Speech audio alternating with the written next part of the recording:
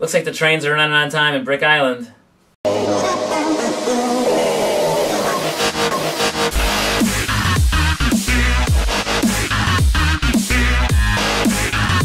Stand clear of the closing doors, please. So this thing runs onto the whole city. We have it going through the Ninjago Chinatown section of the city. We called it the, I think we had a name for this side of the city, it's the deplorable section or something. But it goes around here, underneath, comes back behind the Vesta turbine, and then to the other side there is a subway stop over there. Probably an outdoor subway stop would be a good idea on this side so people can actually get on this side of the city and then make their way to the other side of Brick Island. Took these wheels off of the old passenger train and this is the subway car. So what's perfect about this is I don't really need to have it, the cars they're so short, they don't need to really pivot like the older train, where it kind of wouldn't fit along some of this track. Although we'll show you the track running underneath the city in a little bit. But right now, I'm trying to get this back on here. Of course, now that I'm trying to show you, it's not going to work right, right? Did You're watching me, getting me all nervous or something. Why is this not going on? And it goes on here. It goes there.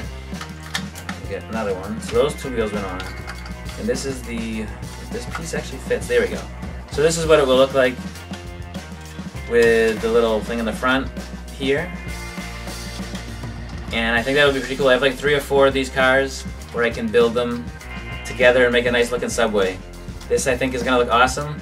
And it's going to run onto the city. There are a few parts of the city where you'll see the train come out. Some in the back behind me over there. There's some on the right side. There'll be a subway station. Those are some of the areas of the city where the train's going to go underneath. As you can see, it's really, really cool. Right now it's going behind the turbine.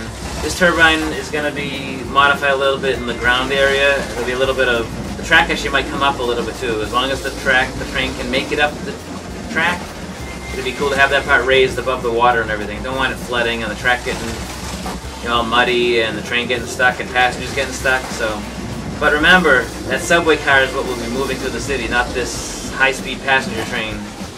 Somehow I got to figure out how to make this have an engine inside one of the cars and push this entire subway train through the city. There will be four four five cars total if I build all of them. I bought enough pieces to build five. This was actually the set. Picked it up at Bricks and Minifigs in Mansfield. Thank you, Chris, for happening to have one when I mentioned building the subway. He had he said I have one of these sets on sale. I'm like perfect.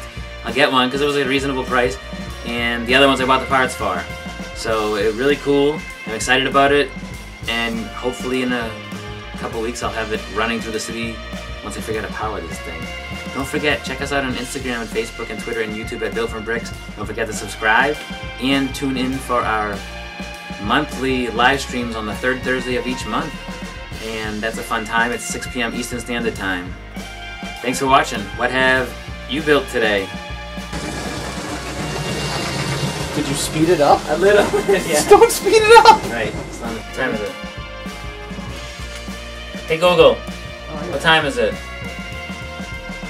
540. He was faster.